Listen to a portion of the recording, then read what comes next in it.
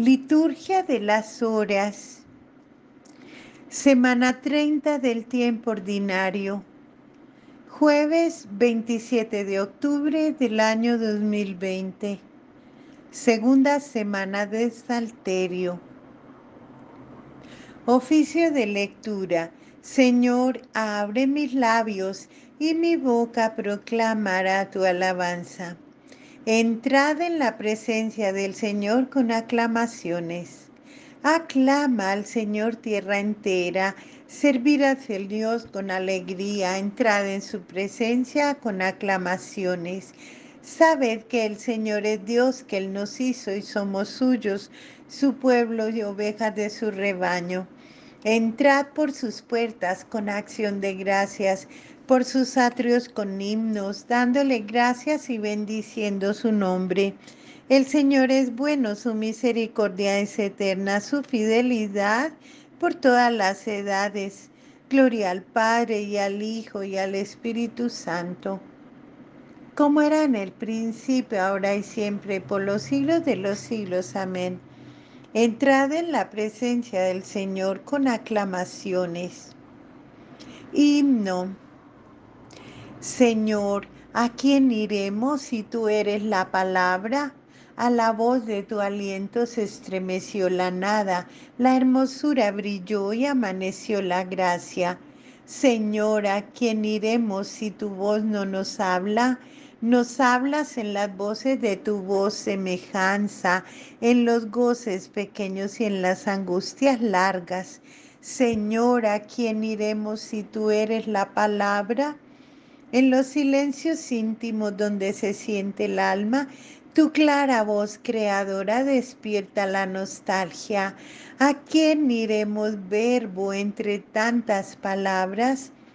Al golpe de la vida perdemos la esperanza, hemos roto el camino y el roce de tu palanta. ¿A dónde iremos? Dinos, Señor, si no nos hablas. Verbo del Padre, verbo de todas las mañanas, de las tardes serenas, de las noches cansadas. ¿A dónde iremos, verbo, si tú eres la palabra? Amén. Nos diste, Señor, la victoria sobre el enemigo. Por eso damos gracias a tu nombre. Oración del pueblo que de Dios que sufre entregado a sus enemigos. Oh Dios, nuestros oídos lo oyeron, nuestros padres nos lo han contado, la obra que realizaste en sus días en los años remotos, Tú mismo con tu mano desposeíste a los gentiles y los plantaste a ellos, trituraste a las naciones y los hiciste crecer a ellos, porque no fue su espada la que ocupó la tierra, ni su brazo el que le dio la victoria, sino tu diestra y tu brazo y la luz de tu rostro, porque tú los amabas. Mi rey mi Dios eres tú, que das la victoria a Jacob. Con tu auxilio embestimos al enemigo, en tu nombre pisoteamos al agresor. Pues yo no confío en mi arco ni mi espada me da la victoria. Tú nos das la victoria sobre el enemigo y derrotas a nuestros adversarios. Dios ha sido siempre nuestro orgullo y siempre damos gracias a tu nombre. Gloria al Padre y al Hijo y al Espíritu Santo, como era en el principio, ahora y siempre, por los siglos de los siglos. Amén. Nos diste, Señor, la victoria sobre el enemigo. Por eso damos gracias a tu nombre. Perdónanos, Señor, y no nos entregues, y no entregues tu heredad al oprobio. Ahora, en cambio, nos rechazas y nos avergüenzas y ya no sales, Señor, con nuestras tropas. Nos hace retroceder ante el enemigo y nuestro adversario nos saquea. Nos entregas como ovejas a la matanza y nos has despertado por las naciones. Vendes a tu pueblo por nada, no lo tasas muy alto. Nos haces el escarnio de nuestros vecinos, irrisión y burla de los que nos rodean. Nos has hecho el refrán de los gentiles, nos hacen mueca las naciones. Tengo siempre delante mi deshonra y la vergüenza me cubre la cara al oír insultos e injurias al ver a mi rival y a mi enemigo. Gloria al Padre y al Hijo y al Espíritu Santo, como era en el principio, ahora y siempre, por los siglos de los siglos. Amén. Perdónanos, Señor, y no entregues tu heredad al oprobio. Levántate, Señor, ven, redímenos por tu misericordia. Todo esto nos viene encima sin haberte olvidado ni haber violado tu alianza sin que se volviera atrás nuestro corazón, ni se desviaran de tu camino nuestros pasos. Y tú nos arrojaste a un lugar de chacales y nos cubriste de tinieblas. Si hubiéramos olvidado el nombre de nuestro Dios y extendido las manos a un Dios extraño, el Señor lo habría averiguado, pues Él penetra los secretos del corazón. Por tu causa nos degüellan cada día. Nos tratan como a ovejas de matanza. Despierta, Señor, ¿por qué duermes? Levántate, no nos rechaces más. ¿Por qué nos escondes tu rostro y olvidas nuestra desgracia y opresión? Nuestro aliento se hunde en el polvo nuestro vientre está pegado al suelo. Levántate a socorrernos, redímenos por tu misericordia. Gloria al Padre y al Hijo y al Espíritu Santo, como era en el principio, ahora y siempre, por los siglos de los siglos. Amén. Levántate, Señor, y redímenos por tu misericordia.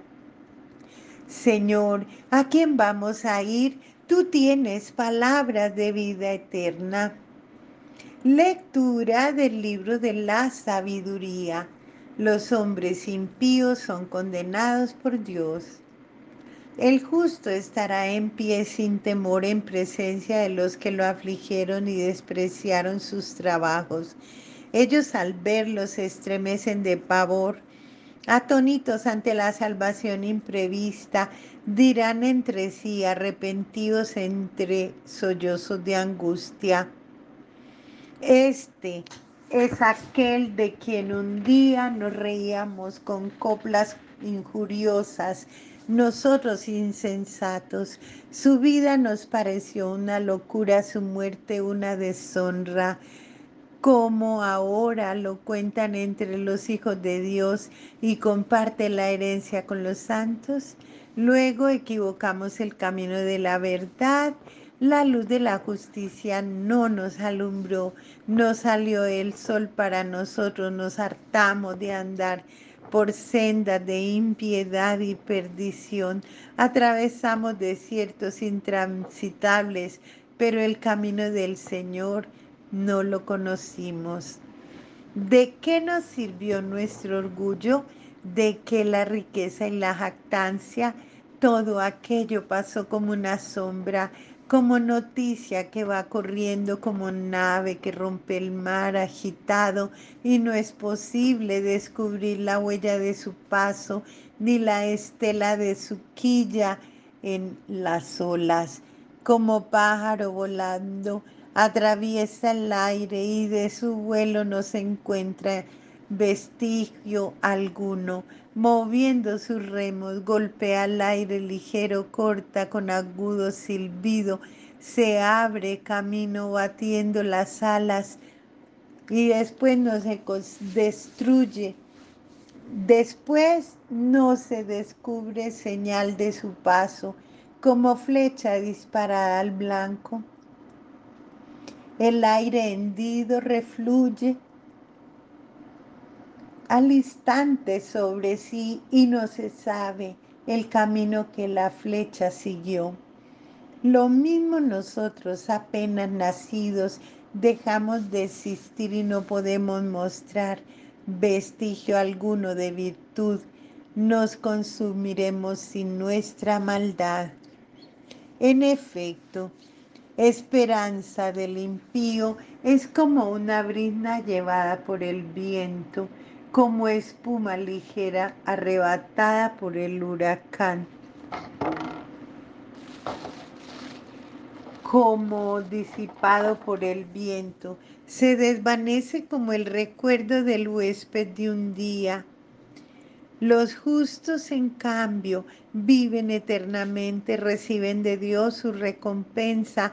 El Altísimo cuida de ellos, recibirán la, la doble corona, la rica diadema de manos del Señor. Con su diestra cubrirá con su brazo izquierdo los escudará. Tomará la armadura de su celo y armará la creación para vengarse de sus enemigos, vestirá la coraza de la justicia, se pondrá como casco un juicio desorbitable, insobornable, empuñará como escudo tu santidad inexpugnable, afilará la espada de su ira impacable y el universo peleará a su lado contra los insensatos. Saldrán certeras ráfagas de rayos de arco bien tenso de las nubes y volarán hacia el blanco. La catapulta de su ira lanzará espeso pedrisco. Las aguas del mar se embravecerán contra ellos. Los ríos los anegarán sin piedad. se levantará contra ellos su aliento poderoso que los aventará como un huracán. La iniquidad arrasará toda la tierra y los crímenes derrocarán los tronos de los soberanos. Que nadie os engañe, quien obra la justicia es justo quien comete el pecado es del diablo, pues el diablo peca desde el principio. En esto se reconocen los hijos de Dios y los del diablo. Quien comete el pecado es del diablo, pues el diablo peca desde el principio. Segunda lectura de las disertaciones de San Atanasio Obispo contra los arrianos. Las obras de la creación, reflejo de la sabiduría eterna. En nosotros y en todos los seres hay una imagen creada de la sabiduría eterna. Por ello, no sin razón, el que es la verdadera sabiduría de quien todo procede, contemplando en las criaturas como la imagen de su propio ser, exclama, el Señor me creó al comienzo de sus obras. En efecto, el Señor considera toda la sabiduría que hay y se manifiesta en nosotros como algo que pertenece a su propio ser. Pero esto no porque el creador de todas las cosas sea él mismo creado, sino porque él contempla en sus criaturas como una imagen creada de su propio ser.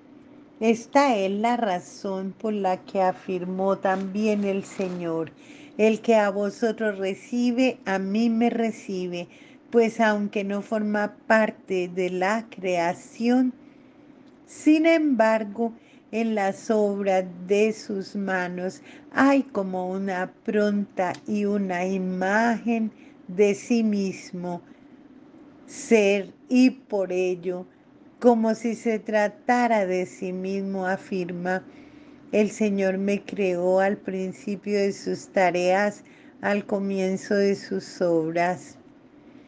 Por esta razón precisamente la impronta de la sabiduría divina ha quedado impresa en las obras de la creación para que el mundo, reconociendo en esta sabiduría al verbo de su creador, llegue por él al conocimiento del Padre. Es esto lo que enseña el apóstol San Pablo. Son manifiestas a ellos las verdades que se pueden conocer acerca de Dios. Bien claro se las manifestó él, así desde la creación del mundo. lo invisible de Dios es conocido mediante las obras, por esto el verbo en cuanto tal de ninguna manera es criatura, sino el arquetipo de aquella sabiduría la cual se afirma que existe y que está realmente en nosotros.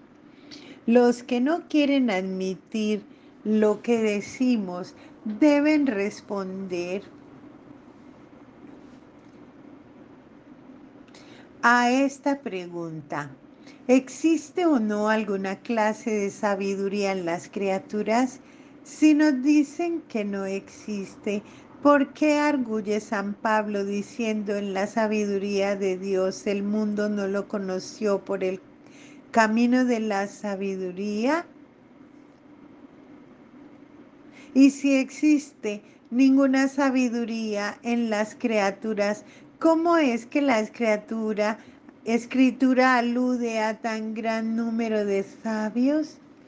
Pues en ellos se afirma, el sabio lleno de amor se aparta del mal y con sabiduría edifica a su casa. Y dice también Eclesiastés, la sabiduría del hombre hace brillar su rostro y el el mismo autor increpa a los semejantes con las palabras, no digas cómo es que el tiempo pasado fue mejor que el presente, pues es de labios para afuera sobre ello. No es de sabios preguntar sobre ello, que exista la sabiduría en las cosas creadas queda patente también por las palabras del hijo de Sirac. La derramó sobre todas sus obras, la repartió entre los vivientes según su generosidad, la regaló a los que lo aman, pero esta infusión de sabiduría no se refiere en manera alguna al que es la misma sabiduría por naturaleza, el cual existe en sí mismo y es el unigénito, sino más bien a aquella sabiduría que aparece como su reflejo en las obras de la creación. ¿Por qué, pues, vamos a pensar que es imposible que la misma sabiduría creadora cuyos reflejos constituyen la sabiduría y la ciencia derramadas en la creación, diga, diga de sí misma. El Señor me creó al comienzo de sus obras. No hay que decir, sin embargo, que la sabiduría que hay en el mundo sea creadora. Ella, por el contrario, ha sido creada según aquello del Salmo. El cielo proclama la gloria de Dios, el firmamento pregona la obra de sus manos. Hay en la sabiduría un espíritu inteligente, sano, santo, único, múltiple, sutil, perspicaz, amante del bien, incoercible, firme, seguro, sereno. Él todo lo puede todo lo observa, penetra todos los espíritus. El Espíritu Santo todo lo penetra hasta la profundidad de Dios. Él todo lo puede, todo lo observa, penetra todos los espíritus. Oremos, Dios Todopoderoso y Eterno, aumenta en nosotros la fe, la esperanza y la caridad, y para que alcancemos lo que nos prometes, haz que amemos lo que nos mandas por, por nuestro Señor Jesucristo, tu Hijo, que vive y reina contigo en la unidad del Espíritu Santo y es Dios por los siglos de los siglos. Amén. Bendigamos al Señor Demos gracias a Dios.